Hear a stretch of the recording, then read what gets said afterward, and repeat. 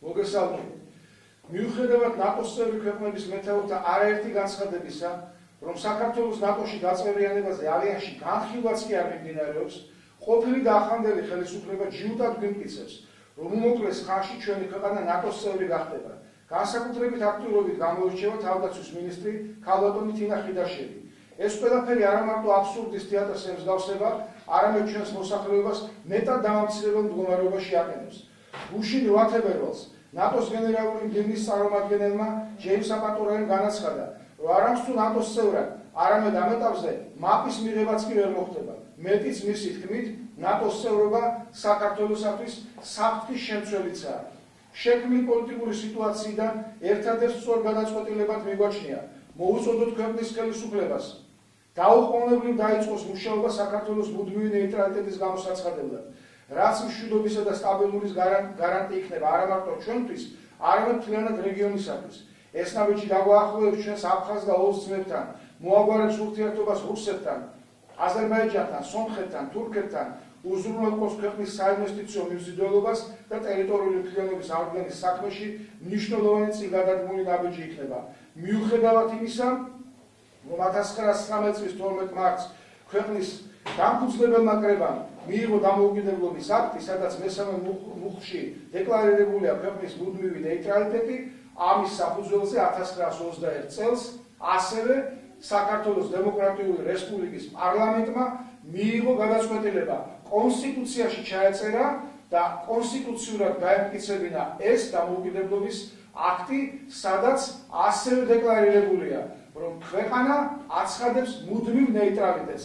მიგვაჩნია რომ დღევანდელმა ხელისუფლებამ უნდა დაიწყოს ამაზე მუშაობა და თუ პარლამენტის ეს შემადგენლობა არა, მომავალი შემადგენლობა მაინც უნდა ფიქრობდეს იმაზე, რომ ახალ კონსტიტუციაში, კონსტიტუციის ახალ რედაქციაში, რომელზედაც მუშაობა მიმდინარეობს საკონსტიტუციო კომისიაში, ჩაწერილი იქნას გარკვევით, რომ ჩვენი ქვეყანა აცხადებს მუდმივ ნეიტრალიტეტს.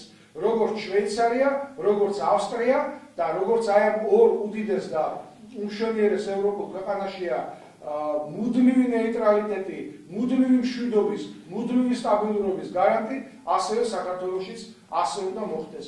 მით უმეტეს რომ ნუ რუსეთი პირდაპირ აცხადებს, რომ გასაგებია ჩვენი ქვეყნის ერთი მესამედი ოკუპირებულია, ოკუპირებული ქვეყნის ნატოში მიღება გამორიცხულია და რუსეთი პირდაპირ აცხადებს, არ დაუშვებს სამხედრო კონფლიქტზეც კი წავა იმისათვის რომ საქართველოს არ გახდეს ნატოს წევრი.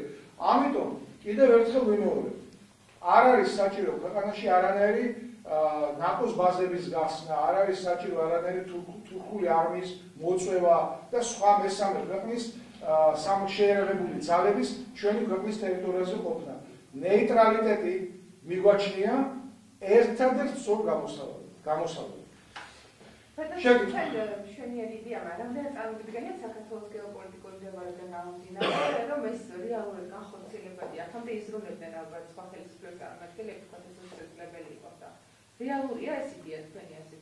სამწუხაროდ, მხოლოდ საქართველოს დემოკრატიული რესპუბლიკის პარლამენტი და მისი მეთაურები ზრუნავდნენ ამას. და მიაღწიეს კიდეც, გამოაცხადეს ქვეყნის მუდმივი ნეიტრალიტეტი, თუმცა ეს არ იყო, რა თქმა უნდა, შვიდობის გარანტი, წითელი არმია მაინც შემოიჭრა საქართველოში, თუმცა 2008 წელს არანაირი ნეიტრალიტეტი არ ქონდა საქართველოს გამოცხადებული, პროდასავლური პროამერიკელი პროამერიკული მიმართულებისა იყო ჩვენი საგარეო პოლიტიკა, რამაც მიგვიყვანა იქამდე რომ დაიწყო ომი და საქართველოს ტერიტორიაზე წარმოიშვა სამი დამოუკიდებელი სახელმწიფო.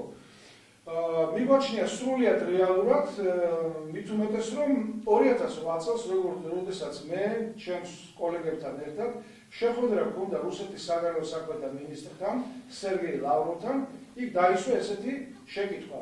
კონსტანტინე გამსახურდიამ დაუსვა მას ასეთი შეკითხვა. როგორ უყურებთ იდეას რომ საქართველოს გამოაცხადოს ნეიტრალიტეტი? რაზედაც რუსეთის საგარეო უცხოების ხელმძღვანელმა განაცხადა რომ ეს არის შესაძლებელი ოღონდ ამის შესახებ პირველ რიგში უნდა განაცხადოს საქართველოს ხელისუფლება.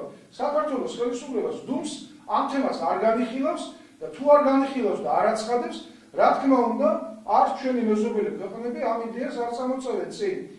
სხვათა შორის მზად არიან, როგორც ჩვენ ვიცით, მზად არიან ჩვენი მეზობლები, იგივე რაც მე ჩამოთვალე თურქეთი, რუსეთი, სომხეთი და აზერბაიჯანი დაიწყო ამ საკითხის განხილვა, რომ ამიერ კავკასი, საერთოდ კავკასიაში იყოს ერთი სახელმწიფო, მაინც ნეიტრალური.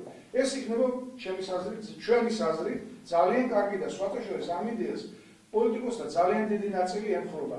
ეხლა არავინ არ გაიგოს ისე რომ თითქოს ჩვენი პარტია ნატოს ეწინააღმდეგებოდეს. აი ხვალ რომ მიგვიღონ ეხლა ვარშავის სამიტზე ნატოში რომ მიგვიღონ. თუმცა კალბაგორი ხიდაშელი აცხადებდა რომ ვარშავის სამიტზე ჩვენ მაქვს მიიღებდო. აბატურე აცხადებს სხვას, ბარაკ ობამა აცხადებს სხვას, ანგელა მერკელი და ფრანსუა ოლანდი აცხადებს სხვას, რომ ეს საკითხი არ განიხილება. ხვალ რომ ნატოში მიგვიღონ, ჩვენ ამის საწინააღმდეგო არაფერი არ აქვს. მაგრამ ნატოში არ გვგებულობენ ყოველთვის ახალ-ახალ მიზეზებს იგონებს ჩვენი წინა და ეხანდელი ხელისუფლებაც. აი ჩვენ მაპი არა, მაგრამ ასპირანტი ქვეყანა გავხდით. შემდეგ განაცხადეს, რომ აი ასპირანტი ქვეყანა კი ვართ, მაგრამ ჩვენ ნატოზე მაპზე მეტი მივიღეთ. ეხლა უკვე აცხადებს თინახიდაშელი, რომ ჩვენ მაპი საერთოდ არ გვიდა, პირდაპირ უნდა შევიდეთ ნატოშიო, მით უმეტეს რომ 1999 წელს გამოცხადდა პირველად გამოცხადდა მაპი და ყველა ქვეყანა მით შემდეგ ნატოს წევრი გახდა მაპი გაიარა აქციანი კურსი გაიარა მაპის რანაირად მიგვიღებს ნატო საქართველოსში მაპის გარეშე როდესაც მასვე აქვს დეკლარირებული რომ მაპი უნდა გაიაროს ყველა და მაპსაც არ გვაძლევს ამიტომ დამამცირებელია ჩვენი ქვეყნის მოსა ჩვენთვის პირადად. აი თქვენთვისაც აქ ყოფის საზოგადოებისთვისაც აი ქუჩაში ვიც გინდა გავაჩეროთ და ვკითხოთ რამდენად ღირსეულად იქცევა ჩვენი ქვეყანა, როდესაც აი ეს ხელგამოწვილი დგას ნატოს წინაშე და ნატო დამამცირებლად გვეუბნება, არა, თქვენ არ ახართ გზა, მე თქვენ არ მივიღებთ ნატოში. ეხლა გასაგებია რომ რუსეთის ეშინია. რუსეთის ფაქტორი იმდენად ძლიერია, რომ საქართველოსე 100 ჯერ უფრო ეკონომიკო 1000 ჯერ ეკონომიკურად ძლიერი და 100 ჯერ სამხედრო ძალით ძლიერი იაპონიაც კი ვერ იბრუნებს, ვერ იბრუნებს სამხრეთ კურილის კუნძულებს და სახალინის სამხრეთ სახალინის და კურილის კუნძულებს. ჩინეთი, რომელიც მილიარდ ნახევრიანი მოსახლეობის მოსახლეობა აქვს და სამხედრო და ეკონომიკურადაც ძლიერია, ვერ იბრუნებს ტაივანს. ამიტომ სამხედრო ძალით აფხაზეთის და ეგრეთ წოდებული სამხრეთ ოსეთის დაბრუნება გამორიცხულია. ჩვენ უნდა მოძებნოთ გამოსავალი რომ ეს ტერიტორიები დაგვიბრუნდეს აფხაზებისთვის და ოსებისთვის მიმზიდველი იყოს საქართველოს და ჩვენ მიგვაჩნია რომ ეს არის ნეიტრალიტეტი. მით უმეტეს რომ ახლა ვიზა ლიბერალიზაცია ხდება მათთვის უკვე მიმზიდველი იქნება ქართული პასპორტი მიმზიდველი იქნება ნეიტრალური ქვეყნის მოქალაქეობა ისევე როგორც ყველა რომ აიღოს შვეიცარიული პასპორტი აიღოს ავსტრიული პასპორტი და ნეიტრალური ქვეყნის მოქალაქეობა პრესტიჟულია მთელ სოფლიოში და ამიტომ მიგვაჩნია რომ საქართველოს უნდა იყოს ნეიტრალური ქვეყანა, მინიმუმ მიუმხრობელი ქვეყანა მაინც.